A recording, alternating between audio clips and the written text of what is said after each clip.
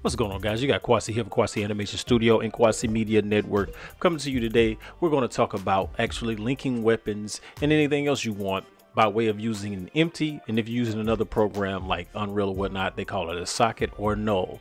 So we already have a weapon here. It's a little test weapon or whatnot because there's no shading on it. Um, what I'm going to do is underneath the weapon tab, I'm going to bring in empty, right? So I'm just going to use a good old plain axis and from the front view, I'm just going to move it closer to the hand. And we're going to go to the side here. Go back to the front.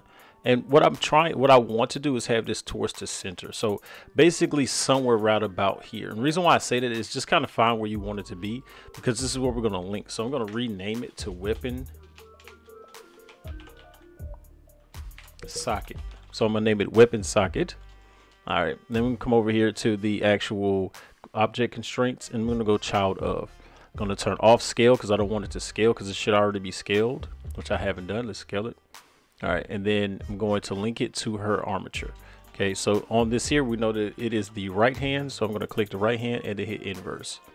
All right, so anytime I move or adjust her, that empty is going to follow. Okay, now as for the weapon, my bad. As for the weapon, let me just call this sword call it sword. All right.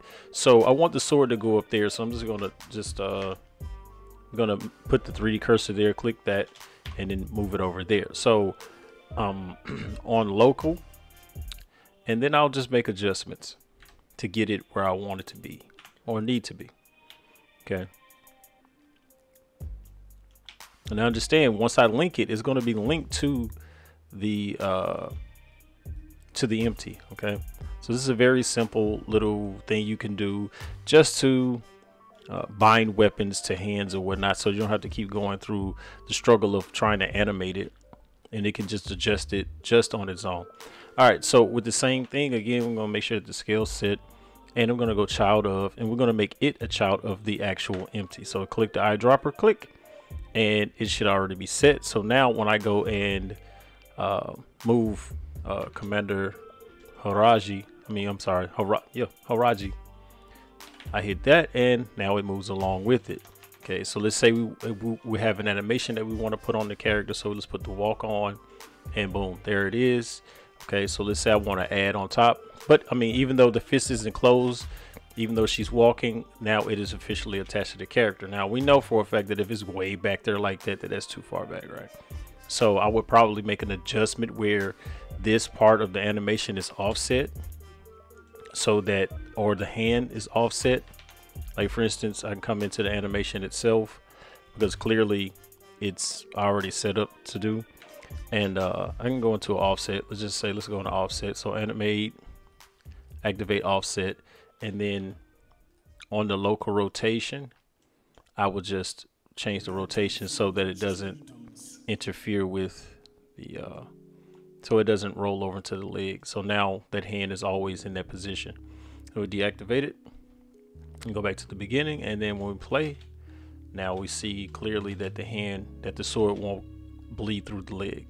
So saying so it's just little things like that that you can do that can improve your animations and allow you to be able to uh, work with characters without having to do extra animation on trying to use a weapon or whatnot. Now you can also do where you can like if you're trying to draw the sword, you would just take that um, the weapon socket and then in the influence you would actually animate the influence. So excuse me. So once you animate the influence, then uh, you can draw the sword. A good example is one of the last uh, shorts I did on the main channel called First Warrior Wyant and he draws his blade and it's the same thing I use here. He draws his blade and he holds it. So I link by way of the socket I um, animate the influence. This way the only thing I'm animating is the actual empty instead of the weapon.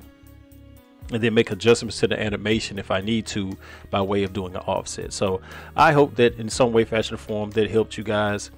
Um, and see you in the next one, I guess. I don't know why people say that, so let me say this differently.